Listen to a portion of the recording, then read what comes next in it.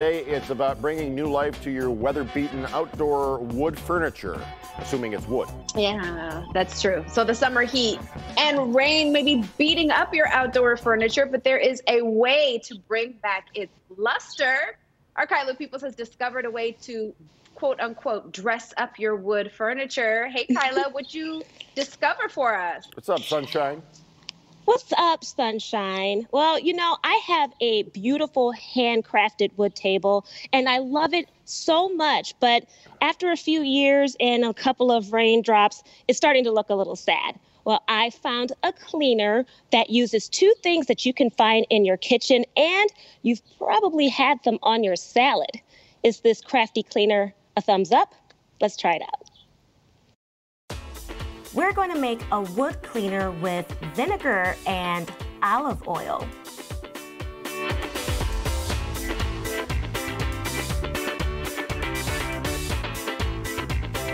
We're going to mix with water one fourth cup of olive oil and a half cup of white vinegar. Now I'm going to shake up the mixture. I'm only going to do one side of the table so you can see the difference after it's all done.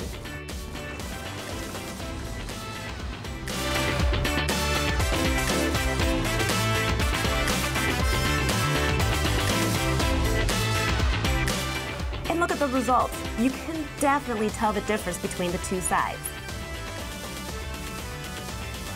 I'm pretty happy with this outcome.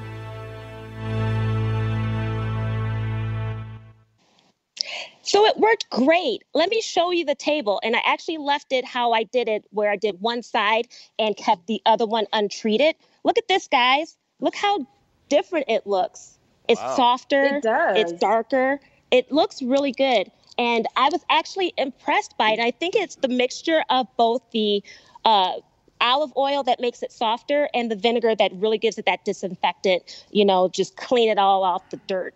So Oh. it's pretty good. What about that vinegar smell? Well, you know, it goes away if you keep it outside, you know, for a while. But if you don't want to even deal with it, just put a couple of drops of um, of uh, essential oils in the in the mix before you shake it up. Goes right away. Yeah, looks like it works. This looks like a Try It Out Tuesday win. Thank you, Kyla. Thumbs up. Thank you. Good stuff.